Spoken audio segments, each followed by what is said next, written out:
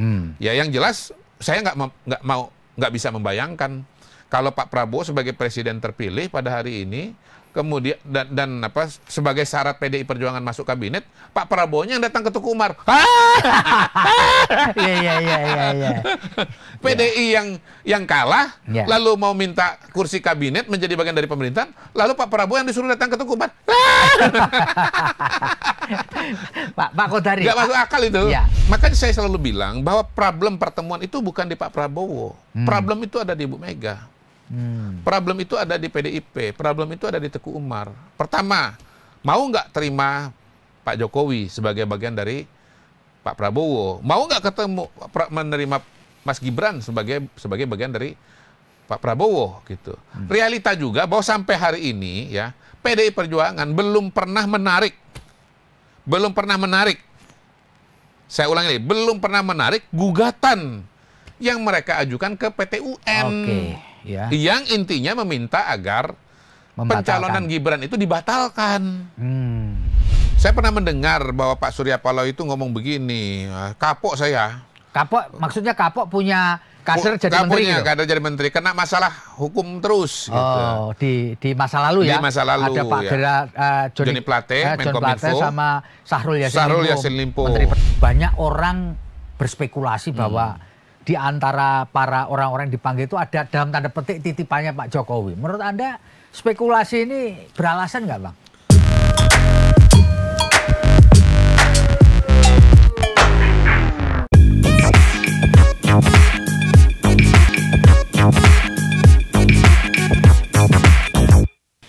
Assalamualaikum warahmatullahi wabarakatuh. Salam damai sejahtera buat kita semua. Shalom, Om Swastiastu, Namo Buddhaya, dan salam kebajikan. Bertemu lagi dengan saya, Feby Mahendra Putra, di dalam rubrik Ngocak Feby, alias ngomong bareng Cak Feby. Dan Tribuners, pada tanggal 14 Oktober, tepatnya kemarin, Pak Prabowo, presiden terpilih itu memanggil sejumlah tokoh di atas 40 orang lah ke rumah kediaman pribadi beliau di Jalan Kertanegara, Jakarta. Hari ini, tanggal 15 Oktober juga memanggil orang-orang yang lain tentu berbeda dari tanggal 14 yang lalu. Banyak orang mengira bahwa ini adalah semacam pemanggilan bagi cara calon pembantu presiden alias menteri atau badan uh, yang akan dibentuk oleh pemerintah Prabowo Gibran. Dan untuk menjelaskan nih fenomena tersebut telah bersama dengan saya Dr. Muhammad Khodari, pengamat politik yang paling jos nih di negeri ini, sekaligus peneliti dari Indobarometer. Bang Khodari, Assalamualaikum. Waalaikumsalam. Wah, luar biasa. Siap, Cak Febi, ya. Jadi bagaimana ini? Apa Bisa yang bagaimana? Fenomena uh, pemanggilan. Bang Oh, Khodari wow. merasa ada sosok-sosok yang surprise nggak? Iya, iya. Gimana nih Bang? Ya pertama wes wayahe kan. Ah.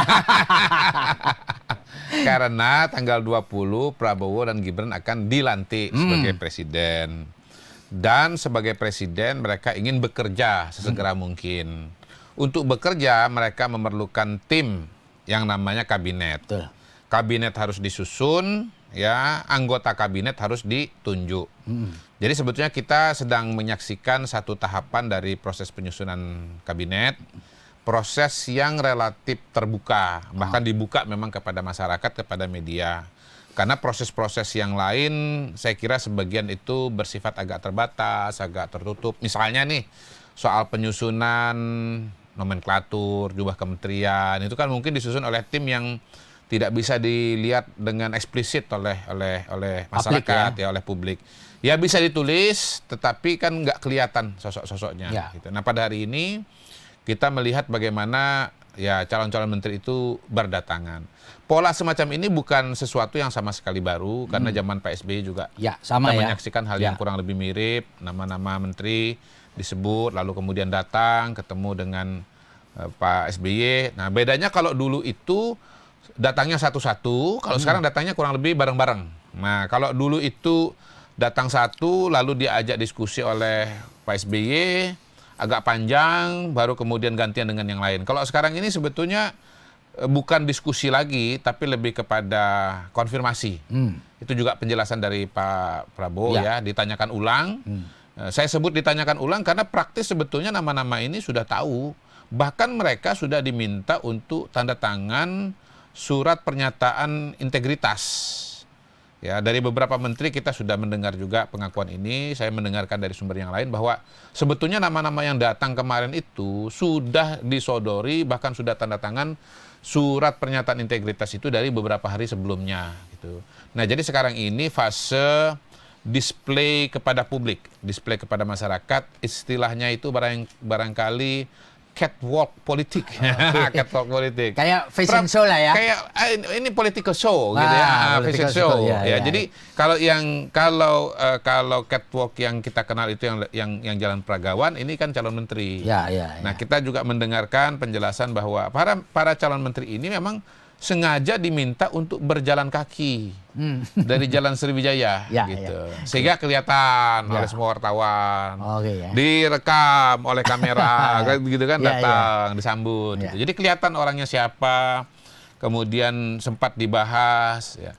Nah, apa perlunya untuk ketemu? Saya kira eh, pertama untuk menunjukkan kepada publik calon-calon yang yang yang pada hari ini di- dinominasikan oleh Pak Prabowo. Yang kedua sebetulnya memancing reaksi dan Oh, respon. iya, iya. Respon dari publik Ah, ah, ya? Dari publik, dari media. Hmm. Kalau kalau ada hal-hal yang tidak diketahui dari awal ya. Masih ada waktu ya? Masih ada waktu gitu. Ya, Kita ya. sudah punya pu- sudah pernah punya pengalaman yang agak kurang enak ya. Hmm. Ada ada menteri misalnya yang ternyata punya background eh, double kewarganegaraan Ya, ya. gitu. Waktu itu ya. Nah, itu mungkin dari sisi kompetensi oke, dari sisi, sisi yang lain-lain oke, tapi ya tidak di tidak disadari bahwa ada masalah soal Ya, ya. kewarganegaraan gitu. Nah, kebetulan apakah yang bersangkutan juga nggak ngomong sendiri kan kan repot. Ya. Jadi biar publik dan biar media yang yang ngomong nanti. Ya, ya. Kalau sekarang ini dimunculkan ada masalah diangkat ke diapungkan oleh media dan kemudian kalau masalah itu betul-betul fatal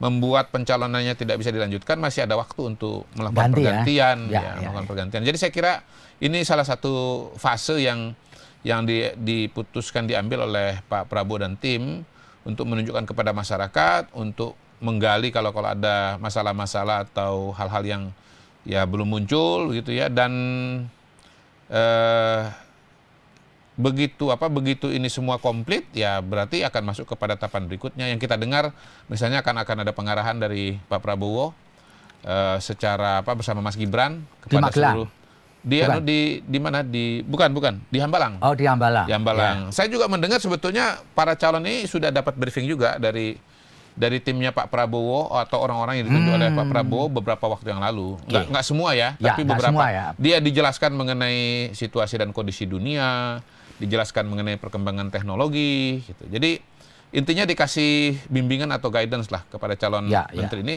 sebelum mereka nanti kemudian akan berlayar nih kapalnya ini menjalankan pemerintahan sudah dikasih tanda-tanda navigasi dulu. Ah, iya, iya. Bagaimana anginnya, bagaimana ombaknya, Ya, ya, ya, ya. karangnya ada di mana Ya, ya, gitu. ya. Itu itu sudah sudah diberikan oleh Pak Prabowo sebagai nakoda kapal. Pak Pak Hudari. Mm. Ada beberapa nama ini Ya. yang bikin surprise. Ah. Setidaknya buat Iya, saya iya, sendiri. iya, iya. Seperti Kalau Mas siapa yang paling surprise? Veronica Tan. Oh, Veronica Tan. Satu. Iya, iya, yang iya. kedua Pak Wakapori, Pak Agus. Pak Agus, Ya, iya, Pak iya. Komjen Agus Adrianto. Iya, ah, ah. Pak Pak Pak Kodari melihatnya gimana ini? Ya, kalau saya sih eh, begini, kalau Bu Veronica Tan, Ya. kalau dari pernyataan beliau kayaknya ya, Ya. beliau ini calon menteri eh, perlindungan perempuan dan anak, Ah. PPA gitu ya. Kenapa beliau yang dipilih? Mungkin Pak Prabowo punya kesan tersendiri kepada Ya. Bu Veronica. Kita tahu bahwa pertama Bu Veronica itu bukan sosok yang betul-betul baru ya. Beliau kan dulu istrinya Pak Ahok Hmm. Ya. dan kita tahu bahwa Partai Gerindra Pak Pak Prabowo pernah mengkampanye mencalonkan dan mengkampanyekan Pak Jokowi sebagai calon gubernur Jakarta Bersama dengan Pak Ahok. wakilnya Ahok. Hmm. gitu. Jadi bukan bukan nama yang betul-betul tidak di, Hmm. tidak dikenal oleh publik Ya. gitu. Nah, yang kedua kita melihat bagaimana Bu Veronica ini waktu jadi istri wakil gubernur, jadi istri gubernur karena Pak Ahok pernah jadi gubernur. Kelihatannya punya kepedulian yang cukup kuat mengenai masalah-masalah perempuan dan anak dan kelihatannya juga eh, perempuan yang tegar gitu ya, Iya, iya. perempuan yang tegar dan eh, mungkin kesan kesan kesan pribadi yang kuat itu yang membuat Pak Prabowo punya harapan besar kepada Bu Veronica. Nah ini kalau versi seriusnya. Nah, kalau versi nggak seriusnya, versi nggak seriusnya. nge ngejekin mantan suaminya. ya ini bahwa bahwa Pak Prabowo mau anu mau mempromosikan Bu Veronica Iya, gitu iya, ya. iya, iya, iya, Nah, iya. Kita tahu bahwa dalam Pilpres kemarin kan Pak Ahok kan jadi calon bukan jadi calon sih, mendukung paslon 03. Iya, Tetapi ini kan versi warung kopi ya, Iya, versi nggak iya, seriusnya iya. gitu. Iya, iya. Mohon maaf loh, ini Iya. jadinya nanti nanti dianggap receh ini Ya, nanti. pasal ini versi warung kopi. Iya, iya. Lalu kalau Pak Adrus, Agus, Pak Agus, Kapolri Pak Agus? Adrianto, Ad- Pak ya. Agus Adrianto saya dengar akan jadi ke, jadi menteri atau kepala badan imigrasi. Oh, jadi menurut Ah. apa yang diketahui Pak Mas Kodari, Ya, ya, ya, jadi imigrasi dilepaskan dari Kementerian dari- Hukum dan HAM. Betul, betul. Nah, salah satu feature yang menonjol atau menarik dari kementerian dari kabinetnya Pak Prabowo Ya. ini kan kabinet dengan jumlah menteri yang banyak. Ya. Ya, kita lihat ke, ke- calon menteri kepala badan aja udah 49. Hmm. Nah, kalau misalnya nanti ah, tiap kementerian itu ada satu atau bahkan dua, bahkan tiga wakil menteri, mungkin kita akan punya kabinet 100 menteri. Iya, iya, kayak zaman dulu. setelah, Ya, setelah setengah abad lebih ya, Ya. akan punya lagi. Dulu kita pernah punya kabinet 100 menteri. di zaman Ka- Kali ini ya. akan akan ada banyak menteri, ada wakil menteri. Nah, pendekatan yang dilakukan oleh Pak Prabowo ini memang ada pro kontra. Hmm. Yang kontra biasanya mengatakan bahwa banyak menteri itu tidak efektif, tidak efisien secara biaya. Karena nanti misalnya rumah dinasnya bertambah, ya kan, mobil dinasnya juga bertambah, kemudian timnya juga bertambah. Yang kedua akan dianggap lambat karena kan eh, disamakan dengan manusia. Kalau Hmm. terlalu besar, ya. ya obesitas gitu ya, pergerakannya tidak lincah. gitu. Ya, ya. Tapi sebetulnya dalam kacamata organisasi, hemat saya ya, Ya. Pak Prabowo justru mengejar efisiensi di situ dan ketajaman. Karena beberapa kementerian dengan postur yang besar, dengan tugas yang besar, memang justru itu membuat dia tidak lincah dan ada banyak permasalahan yang tidak tertangani. Oh, gitu. Kalau buat saya pribadi, contoh kementerian yang yang terlalu obes itu, Hmm. itu adalah kementerian Dik- Dikbud atau Diknas. Ya. Di dalamnya ada sekolah, di dalamnya ada perguruan tinggi, di dalamnya Ada ada, ristek. riset, ya kan, di dalamnya ada kebudayaan. Hmm. Sehingga saya mendengar bahwa ini nanti akan dipecah menjadi tiga. Tiga. Ada Menteri Dasar dan Pendidikan Menengah, Nah, ya, Dikdasmen eh, ya. eh, Dikdasmen ya. Dikdasmen yang menterinya Mas Abdul Mukti. Iya. gitu. Yang kedua itu adalah Menteri Ristek, Ristek. riset dan apa eh, pendidikan tinggi dan riset, Riset dan dan teknologi, teknologi, ya. Ah, ah, aparatif. Menristek Dikti. Ah, Menristek Dikti, kemudian yang ketiga kebudayaan. adalah kebudayaan yang udah agak jelas. Ya. Teman kita Fadlizon. Ah, Pak Fadlizon, ya, dia. Kementerian Ah, Kebudayaan. Betul, betul, betul. Ini kan kementerian yang sangat-sangat besar, ya. Yang ngurusin ngurusin pendidikan dasar aja sudah banyak banget SD-nya, SMP-nya, kemudian SMA-nya, SMA-nya, ya. ya. Kemudian perguruan Perguruan tinggi, tinggi. juga banyak sekali. Belum lagi beban riset, Ya. gitu. Nah, soal kebudayaan, apa betul bisa digabung dengan pendidikan atau harus berdiri Ya. sendiri? Nah, kalau soal Kumham, saya dengar nih nanti ada hukum Pak Supratman Andi Aktas, Ya, yang menteri sekarang. menteri sekarang, kemudian akan ada badan atau kementerian imigrasi, Hmm. ya, mungkin Pak Pak Agus Agus, ya. Dan satu lagi lembaga pemasyarakatan. Hmm. Lembaga pemasyarakatan mungkin akan berdiri sendiri juga, entah sebagai kementerian atau, Atau berdiri sebagai badan, Hmm. gitu mas. Jadi eh, tentu harapannya bahwa kalau berdiri sendiri, dia akan fokus dan akan tajam gitu loh. Jadi masalah-masalah lembaga kemasyarakatan, karena menterinya fokus ke sana, maka yang peritil-peritil itu bisa dibenahi. Ya, soal imigrasi, ketika menterinya itu satu itu aja ngurusin itu, maka dia akan lebih Fokus efisien. ya. Ya. Ketika bicara pendidikan dasar dan menengah, ya khusus ngur- ngurusin itu saja bisa lebih menyelesaikan banyak-banyak banyak persoalan dan permasalahan yang terjadi di wilayah itu. Begitu dan Ya, seterusnya. ya. Mas, Ya. Mas Kodari, Ya. ada nama juga yang ya dulu terkenal lalu kemudian hilang terus nongol lagi namanya Pak Natalius Pigai. Nah, Natalius Nah, Pigai, ya. menurut Bang Kodari, Ya. ini nanti diperankan sebagai apa? Mantan anggota Komnas HAM Iya, kayaknya jelas karena beliau udah ngomong kan Ya. bicara mengenai HAM dan Jadi HAM nanti juga Menteri HAM. dilepaskan Ah, dari iya, iya, betul. Kementerian Dari Hukum dan Kementerian- HAM. Betul, betul, betul. Jadi Tambah nanti- lagi berarti toh? Iya toh, ada Ah, imigrasi, imigrasi. ada pemasyarakatan, ada HAM. Ada hukum sendiri. Ada hukum sendiri. Empat ya jadi ya? Iya. Itu Bisa ya? jadi empat. Ya. Jadi empat. Kalau Pak Natalius Pigai saya kira agak mudah dijelaskan karena Ya. dia pernah jadi anggota Komnas HAM. Hmm. Kemudian beliau berasal dari Papua, Hmm. ya, yang syarat dengan isu apa, HAM. si isu HAM, gitu. Jadi ini jawaban terhadap dua isu sekaligus soal Papua, kemudian soal HAM, ya, dan lepas daripada itu ya kalau dengar penjelasan dari Pak Natalius Pigai, beliau selama ini memang sudah dekat dengan Pak Prabowo, bahkan eksplisit dia mengatakan saya ini anak buah Pak Prabowo dari lama, gitu. Ah. Kita aja yang nggak tahu. Mas, Mas Kodari, iya. eh, dari pemanggilan-pemanggilan kemarin Mm-mm. itu belum ada Hmm. orang yang dari PDI Perjuangan. Ah, iya, iya, iya. Ah, hari ini Iya. ya tanggal 15 Oktober Iya, iya, iya. tiba-tiba nongol nih Mas Pramono Nongol, ini Ma- Mas Pramono calon eh, gubernur DKI. ini. DKI Jakarta. Menurut, menurut Mas Kodari ini apa ini Mas? Ini saya masih bingung juga. Saya belum saya belum sempat Belum cek update ya? Belum sempat cek-cek ya. Hmm. Udah keburu di, di harus interview. ya, pertama kalau beliau untuk jadi calon menteri rasanya enggak kan? Enggak ya? Karena kan sekarang beliau posisinya jadi calon gubernur Betul. DKI Jakarta. Ya. Nah, yang kedua kalau kita lihat background Mas Pramono sebelum ini, beliau adalah Menteri Sekretaris Negara. Sekretaris Kabinet. Eh sorry, sekretaris kabinet. Hmm. Yang notabene sekaligus juga adalah semacam jembatan komunikasi antara Pak Jokowi dengan Ibu Mega. Hmm. Gitu. Jadi boleh dibilang rasa-rasanya salah satu orang yang potensial jadi utusan PDI Perjuangan adalah Oh, Mas Pram. Jadi Mas Kodari menduga, Menduga ada pesan-pesan utusan nih. ya, Iya. bukan untuk untuk bukan, di bukan, beauty contest bukan, itu. bukan, bukan peragawan politik kali ini, Iya. tapi messenger politik. Oh, iya, iya, iya. nah, kenapa datang ke Kertanegara? Kenapa tidak ke tempat yang lain? Karena konsentrasi kegiatan Pak Prabowo seharian ini adalah di Kertanegara. Hmm. Tidak memungkinkan bagi Pak Prabowo untuk ke tempat yang lain untuk ada pertemuan inkognito. Jadi Hmm. mau nggak mau siapa pun orang PDI Perjuangan yang datang menemui Pak Prabowo itu harus lewat depan ya ketemu dengan Pak Prabowo. Dan saya nggak tahu apa kayaknya rumah Pak Prabowo di Kertanegara itu nggak ada pintu belakang. Mas Kodari, Eh, kalau melihat eh. eh, fenomena ini, apa. Hmm. mungkin PDI Perjuangan itu menjadi bagian dari pemerintah ke depan ini? Mas Kalau Kodari? lihat pola pada hari ini ya eh, dinamika pada hari ini sampai hari ini menurut saya kecenderungannya tidak.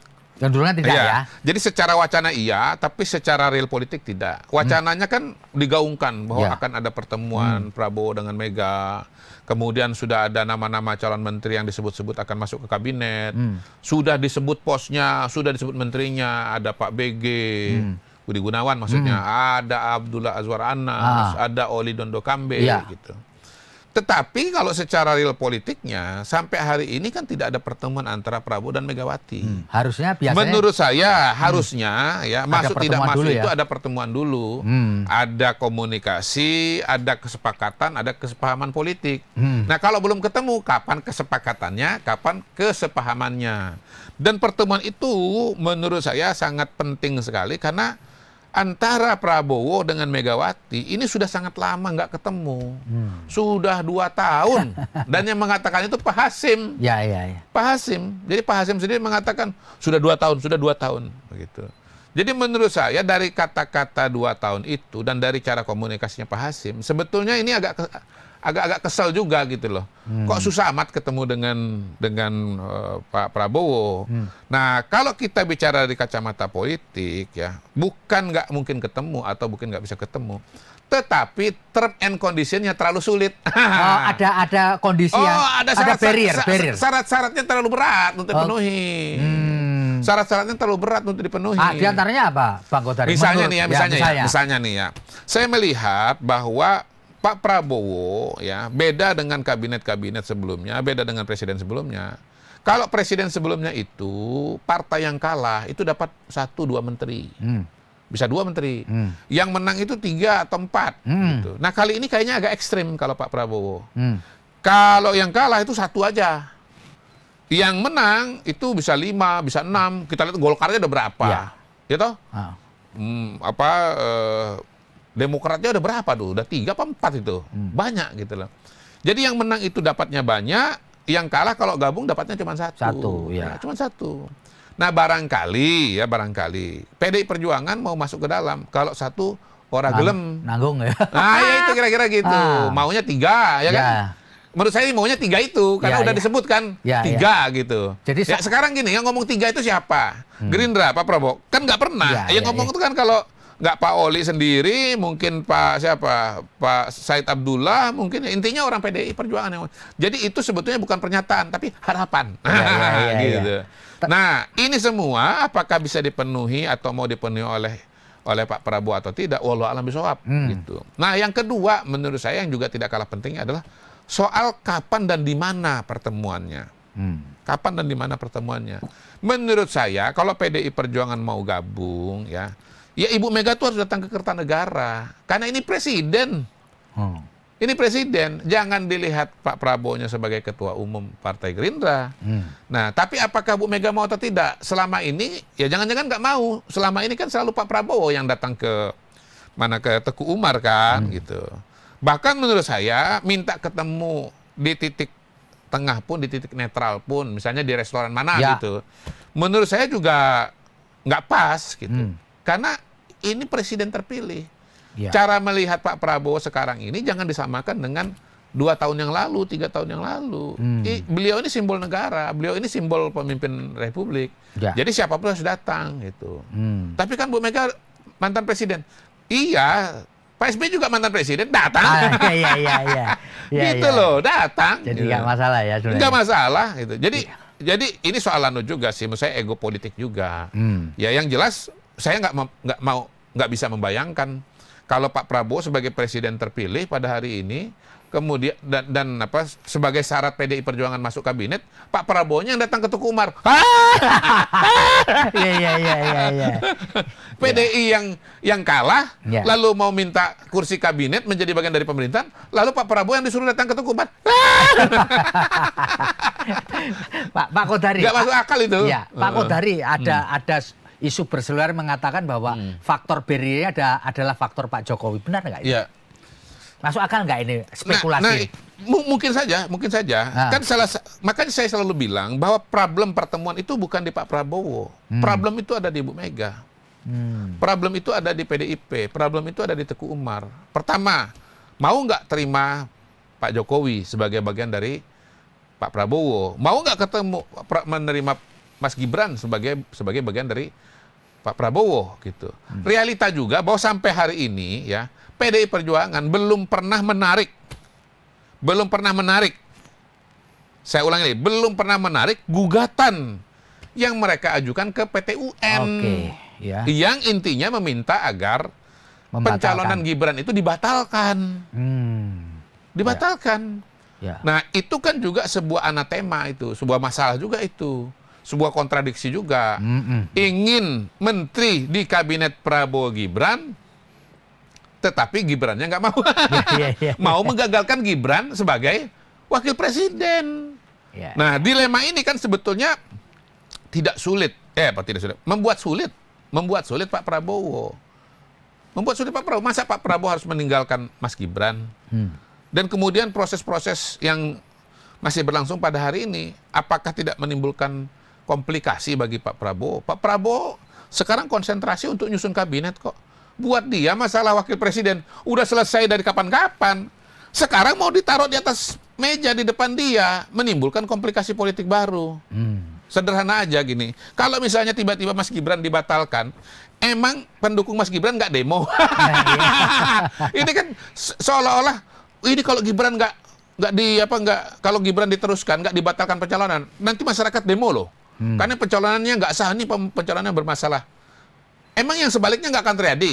Kalau misalnya Gibran dibatalkan jadi wakil presiden, emang nggak Iya, demo? iya. Demonya lebih gede bos, lebih gede karena yang milih Prabowo Gibran itu 58 persen. Ya, ya. Ya, yang puas, yang mendukung, yang senang saya Pak Jokowi 75 persen. Demonya lebih gede lagi. Iya, ini ya anu barriernya di situ juga ya. iya, iya. Jadi banyak sebetulnya. Tapi Iya. saya bisa mengatakan barriernya itu ada di PDI Perjuangan di Oke.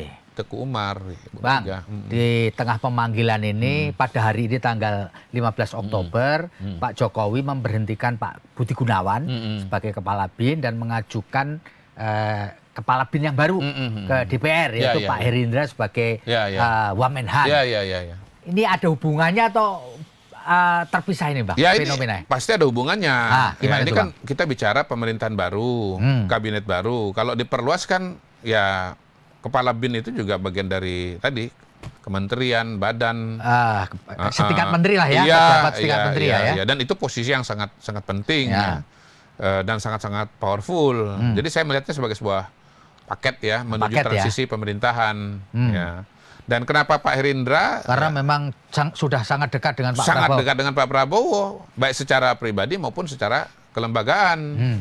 Pak Herindra kan wakil Menteri Pertahanan, Pertahanan, sekian ya. lama ya. Dan Pak Herindra itu adalah uh, Adi Makayasa tahun beliau angkatan dulu, saya lupa angkatan Hmm. berapa ya. Tapi Adi Makayasanya adalah Pak Pak Herindra ini. Jadi ah, sebenarnya bagian dari proses transisi ini Benar, ya, benar. pergantian ini. Benar, benar. Bukan karena nanti Pak ini disebut-sebut Pak Budi Gunawan akan masuk ke kabinet dalam portofolio yang lain bukan ya? Nah, sebetulnya yang duluan itu adalah pergantian kepala bin, toh. Ah, Kepala bin ya, kebetulan Pak Budi Gunawan juga sudah lama, lalu kemudian eh, ya ini lagi sekali lagi ini adalah pemerintahan baru. Hmm. Nah, tinggal Pak Budi Gunawan lepas dari bin itu mau ke mana? ya. Apakah betul-betul akan stop dari kegiatan pemerintahan atau masih masuk kemba- kembali ke dalam kabinet? Tapi kan bolanya itu ada di Ibu Megawati. Ya, ya, ya, ya. Ya. Bolanya di bumi. Bolanya ada di Ibu Megawati karena Pak Pak BG kan identik dengan Ibu Megawati. Hmm, hmm. Ya. Walaupun sampai hari ini setahu saya tidak formal di PDI Perjuangan ya. Ya. Tapi kan memang identik dengan. Ibu Megawati. Mas Saudari, Ya. ini ada fenomena menarik mengenai Partai Nasdem ini. Nasdem ya. ya. Yang kemudian merasa bahwa ya sudah tidak mengirimkan Ah. usulan lah Ya, ya. nama ini. Ya. Menurut Bang Kodari fenomena apa sih ini? Saya pernah mendengar bahwa Pak Surya Paloh itu ngomong begini, "Ah, kapok saya.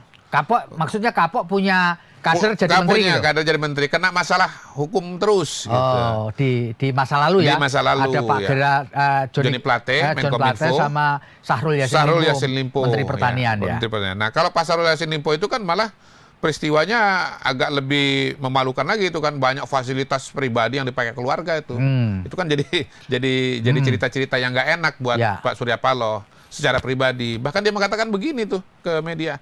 Ya kalau keperluannya begitu-begitu, ya jangan ambil dari Kementerian Pertanian lah, ngomong aja sama saya. gitu. Saking malunya kali ya. Saking iya, saking nggak enaknya gitu. Hmm. Bisa begitu. Tapi bisa juga karena kalkulasi politik. Hmm. Sebagai partai yang kalah, tadi kembali kepada diskusi kita sebelumnya, ada Ya. formula baru Ya, ya, ya. dari Pak Prabowo ini bahwa kalau Anda kalah, Cukup Anda satu boleh masuk ke dalam tapi cukup satu.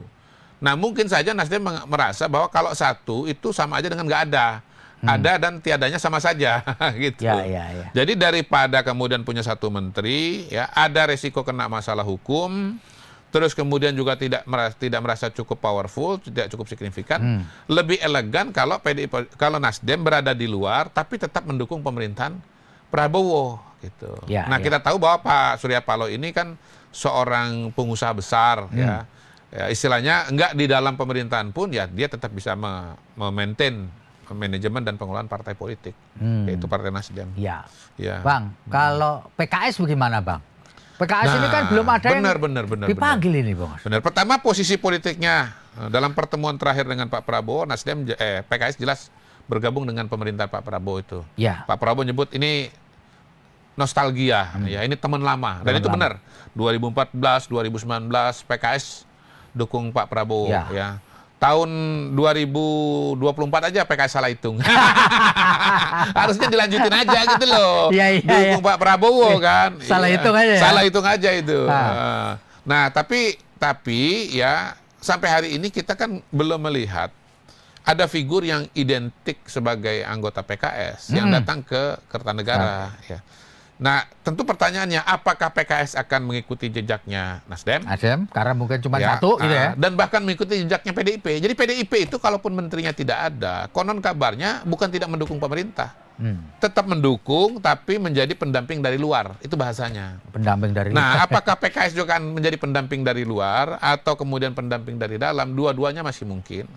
Karena calon menteri dari partai politik itu ada yang eksplisit, ada yang implisit. Oh, eksplisit itu memang betul kader. Ya, Kalau implisit itu punya KTA. rekom, ya. Nah, sudah dikenal publik sebagai pengurus partai. Hmm. Ya. Tapi kalau yang implisit itu mungkin tidak punya KTA.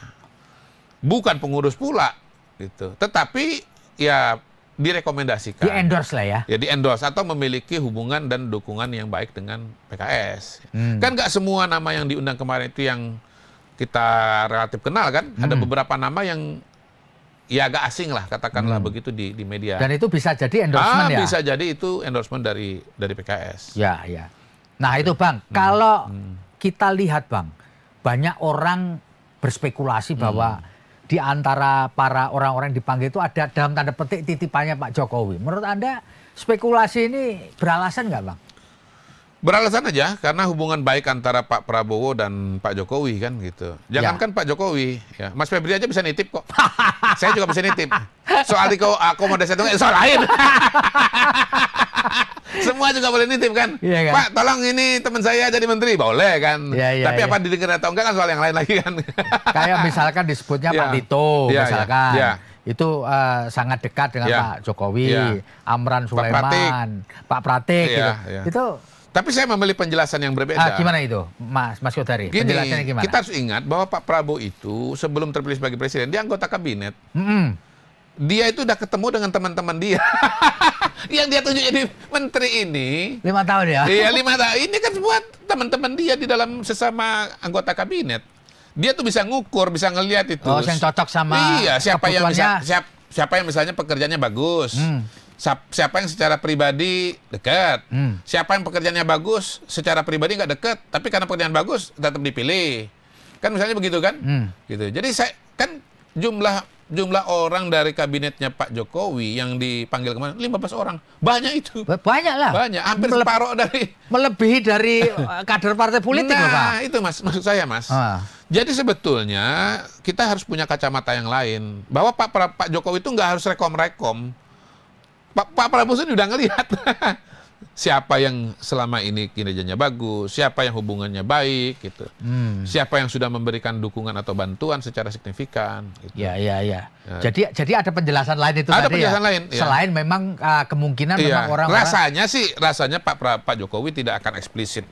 Pak Prabowo ini tolong nama ini nama ini masuk gitu Ya, kan? ya. Enggak enggak, menurut saya sih enggak. Ya, ya, ya. nggak akan eksplisit begitu. Iya, iya. Eh, jadi menurut saya Pak Prabowo su- sudah menilai sendiri. Kalaupun misalnya ada karena faktor kedekatan, Pak Pra- itu juga penilaian Pak Prabowo. Oh kayaknya Bapak A ini dengan Pak Jokowi itu hubungannya dekat. Gitu. Hmm. Tapi menurut saya bukan cuma itu, pasti ada variabel yang berikutnya. Oh Bapak ini hubungannya dengan Pak Jokowi dekat dan dia memang kompeten, bagus. Eh, ini Bap- Bapak ini hubungannya dekat dengan Pak Jokowi dan dia adalah ketua partai ya. Masuk itu barang. Masuk barang lah, iyalah. Iya, iya. iya. Ya, kita kasih contoh lah misalnya Pak Bahlil, dekat nggak dengan Pak Jokowi? Dekat banget. Ya. Tapi Pak Jok Pak Bahlil nggak berdiri sendiri, dia juga ketua, Ketua umum Partai Golkar. Iya. Iya. Gitu. Nggak dekat pun jadi menteri kok, apalagi dekat dengan Ya, Pak ya, Jokowi. ya. Oke. Bang, Hmm. ada satu pernyataan Pak Jokowi yang Hmm. banyak buat orang merasa aneh ya. Iya. Bahwa beliau bilang bahwa meskipun tidak jadi presiden akan sering berkunjung ke IKN. Ya. Ya kan? Mm-mm. Lalu ini bentuk orang menafsirkan ini bentuk oh ini masih cawe-cawe ini Mm-mm, kepingin mm-mm, cawe-cawe. Menurut kalau menurut uh, analisa abang apa sih? ini Menurut saya orang itu yang aneh. apa apa masalahnya datang ke IKN? Di Hmm. mana masalahnya? Ya. Jangankan Pak Jokowi, kita aja pun datang ke IKN sering-sering juga nggak apa-apa, bagus gitu. Ya.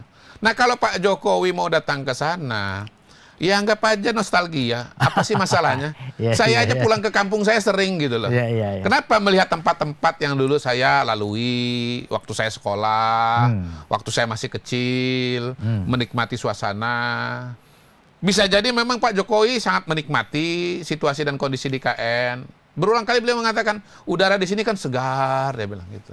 Ya, ya. Jadi normal aja ya. Buat biasa aja. Ya. Oh ini orang-orang yang sensi. Ya. ini yang ngomong begitu pasti nggak senang sama Pak Jokowi, Hmm. sehingga dia sensi.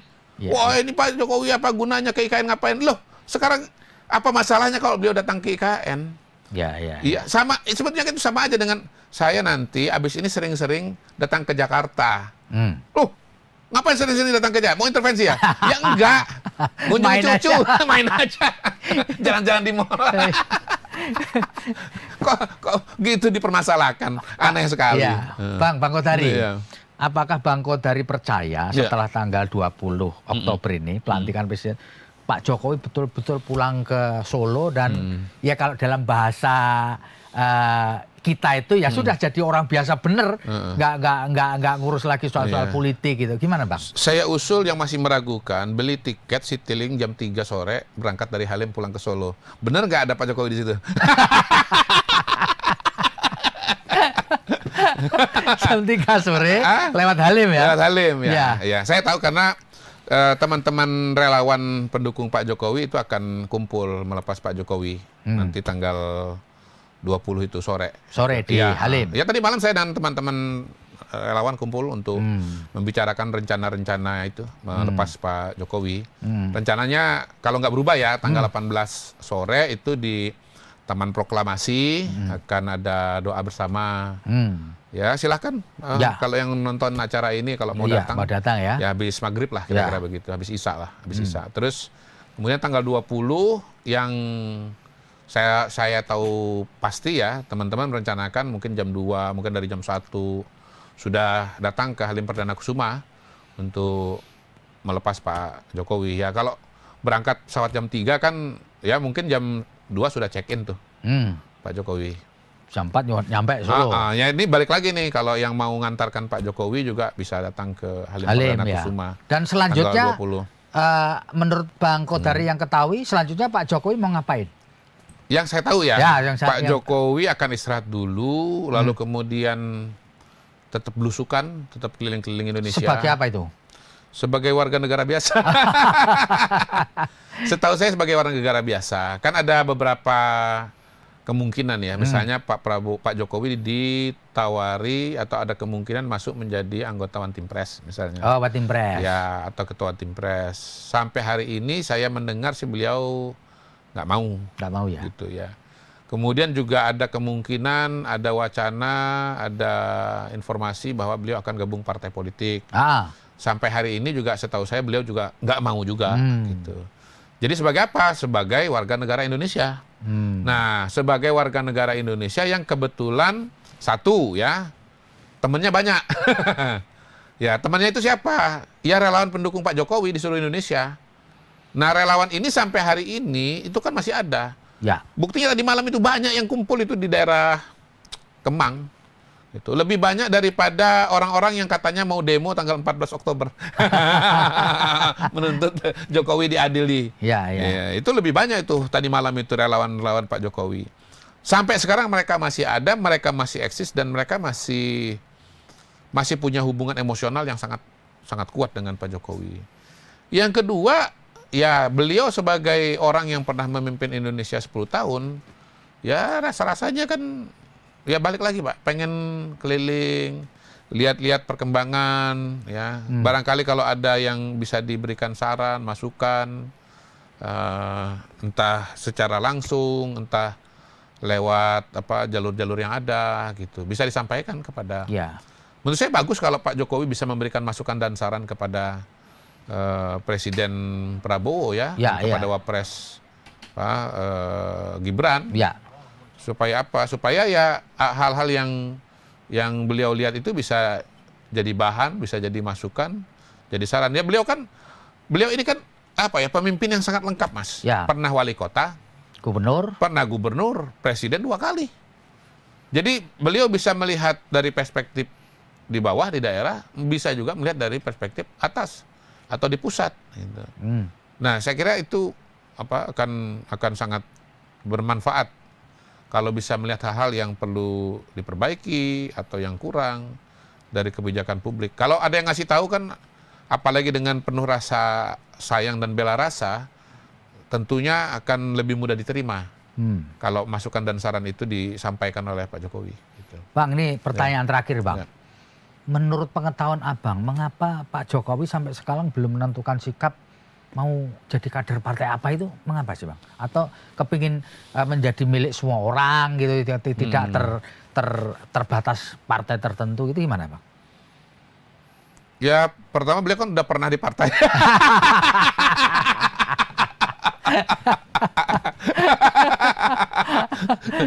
Jadi kalau di partai lagi ya buat apa kan? Oh gitu ya. Iya kan? Beliau kan udah sekian tahun di PD Perjuangan toh. Iya. Iya.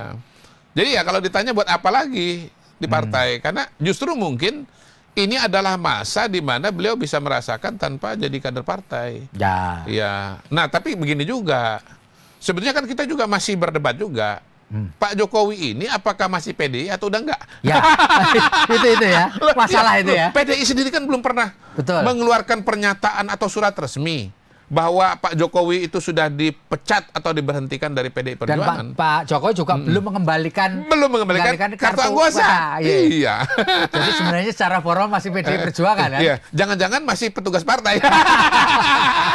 Jangan-jangan ini masih ditugaskan PDI Perjuangan keliling Indonesia. ini menarik ini.